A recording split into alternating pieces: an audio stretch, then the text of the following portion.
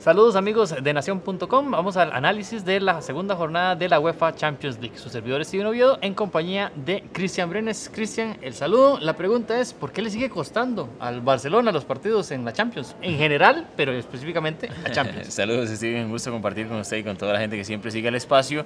Eh, yo creo que hay que separarlo. Le ha costado la Champions, pero también le ha costado el torneo local, ¿verdad? Ha sido un inicio complicado para el Barcelona sin Lionel Messi en, en su 100%. Hoy volvió en luego de otra lesión que tuvo el, atacante argentino del Barcelona.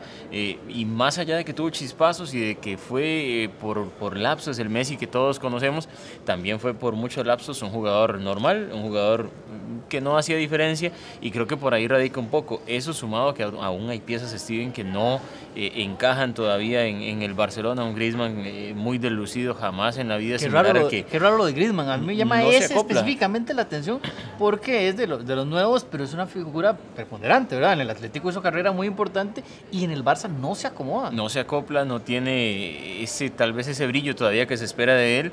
Eh, si bien es cierto, sí está jugando más a un costado, tampoco en el Atlético de Madrid era el 9 clásico, pero bueno, al final de cuentas el Barcelona mucho por individualidades, hay que decirlo, termina sacando un partido que se le complicó demasiado, que era vital que sacara en el Camp Nou contra el Inter, que es el rival sin duda alguna. Y se paró eh, bien el Inter. De los ¿verdad? más complicados, es un grupo, ya sabemos que es dificilísimo, donde está el Borussia Dortmund también, eh, de entre los aspirantes a clasificar, el Borussia eh, ya había ganado, así que estaba obligadísimo el Barcelona a sacar el partido en casa.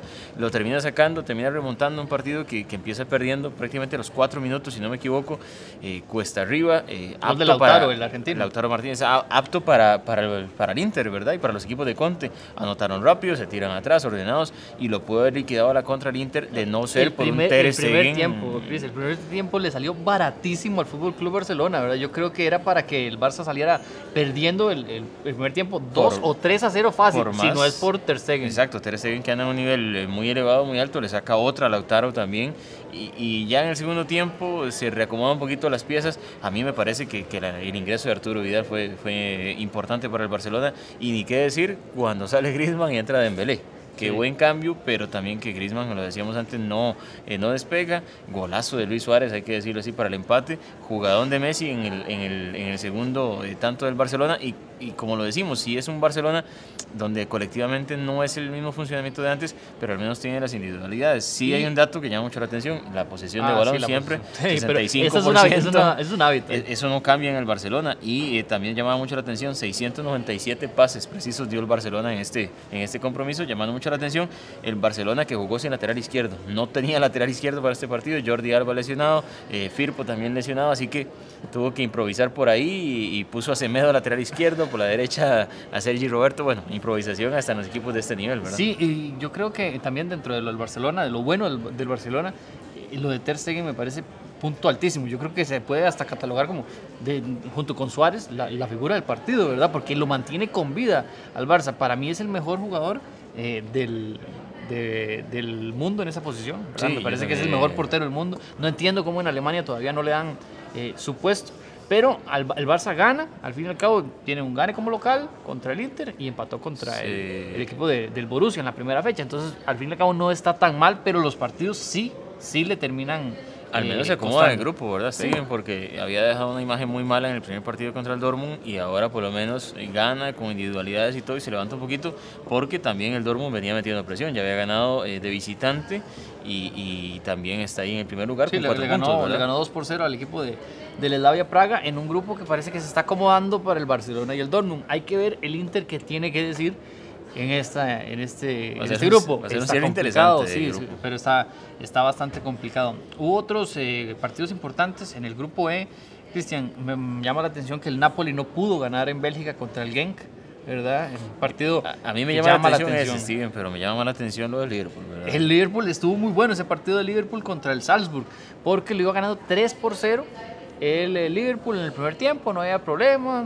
Salah, Firmino, Mané, todos, paseos todos dando, anotando, todos sí. con, con, mucha facilidad y se puso 3-3 el partido. Al final llega Mohamed Salah y saca el, el resultado para, para, el equipo de Liverpool, pero se le complicó tremendamente al equipo de, de Jürgen Klopp en un partido que realmente yo no esperaba que, el Salzburg fuera a pararse de esa manera en, Anfield. Sí, exacto, se, esperaba, eh, digámoslo así, una goleada ya estrepitosa, similar a la que le termina metiendo el Bayern al, Tottenham de ayer, de unos 7 goles, con ese inicio de 3 a 0, solvente, fácil, pero Liverpool se relaja y, ya sabemos que en estos partidos de Champions hasta el rival más débil te puede complicar, se lo empata y bueno, al final el Liverpool resucita y saca un resultado eh, trascendentales tienen de no haber ganado, ¿cómo hubiera quedado ese grupo, verdad? Si se hubiera terminado con el empate, eh, hubiera quedado el Nápoles, con, el Nápoles con cuatro puntos y el Liverpool hubiera quedado solamente con dos puntos en este grupo, donde también está el Salzburg que está pujando ahí, el Gen, que no son rivales tan calificados, pero que terminan complicando. Sí, en un, grupo que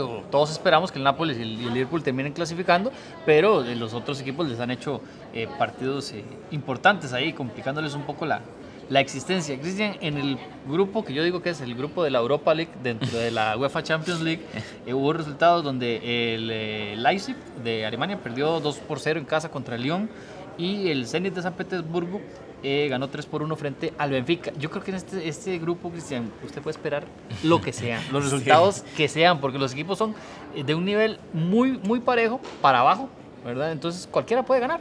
Yo, no sé, no quiero ser irrespetuoso, pero ese es el, típico grupo que si usted me dice que si estoy libre y lo puedo ver o lo, o lo tengo que ver, yo creo que no lo ah, veo. Ah, no, no. Yo creo que no, lo veo y bueno, menos si el platillo del día tiene el Barcelona contra el Inter y también tiene el Liverpool. Ese grupo eh, seguro que tiene la peor audiencia de las transmisiones, sí, porque digamos, cualquier aficionado, por ejemplo, hay aficionados de Liverpool que me imagino que estuvieron viendo a Liverpool hoy, pese a que jugaba Barcelona-Inter, que era, era un partido muy bueno.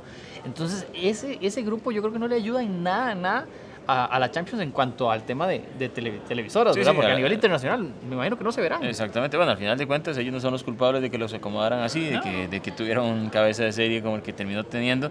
Y bueno, al final el serie hace su trabajo, ha ganado los primeros dos partidos, eh, perdón, ha ganado un partido y empatado otro, tiene cuatro puntos, el líder, eh, empatado con el Lyon también, que son los que se perfilan ahí. No sé si el Leipzig eh, va a poder pelear, es un equipo muy nuevo en cuanto a ese tipo de competiciones. Es un equipo también que en Alemania viene empujando fuerte obviamente auspiciado por esta marca de bebidas energéticas que le ha metido mucho dinero y hay que ver hasta dónde le alcanza. Cuesta esos primeros pasos a nivel internacional, son complicados, ¿verdad? Y, y, Leipzig lo está, lo está viviendo, todavía tiene vida y todavía faltan cuatro, cuatro partidos. El que me extraña mucho, Steven, en ese grupo es el Benfica. Yo pensaba, originalmente, cuando, cuando se da la conformación del grupo, pensaba que el Benfica, dentro de todos estos equipos, como usted bien lo dice, casi de Europa League, pensaba que el Benfica iba a tener un, no sé, un rendimiento un poco más elevado. De momento, dos partidos, dos derrotas. Sí, y en el último grupo, el Chelsea triunfó 2 por 1 en casa del Lille. Y el Ajax, ojo este Ajax, ah, Cristian, pues ya lo vimos el torneo pasado, se le fueron figuras importantes, pero ganó 3 por 0 en casa del Valencia y el Ajax es líder con 6 puntos en este grupo, con el Valencia y el Chelsea, que, uno también obviamente los pone como candidatos. Yo creo que este grupo está, está bonito, ¿verdad? Porque el Chelsea no es ese equipo tan fuerte de hace varias temporadas, el Valencia viene tratando de, de resurgir con, con, sus inversionistas y el Ajax, eh, pese a que perdió a jugadores importantes, creo que igual le quedó con un equipo interesante para pelear por la clasificación. Sí, yo creo que este es un grupo donde vamos a ver, hay, hay dos equipos que, que marcaron ciertas épocas en la Champions y en sus respectivos eh, eh, torneos locales como el Valencia y como el mismo Chelsea, eh, pero que ahorita están como a la baja, ¿verdad? Están como en un proceso de transición, afrontando problemas ya sea de reconstrucción administrativa como el Valencia o el mismo Chelsea que tenía la problemática para fichar. Y, creo que están ahí como un poco confuso todavía lo que va a pasar con ellos.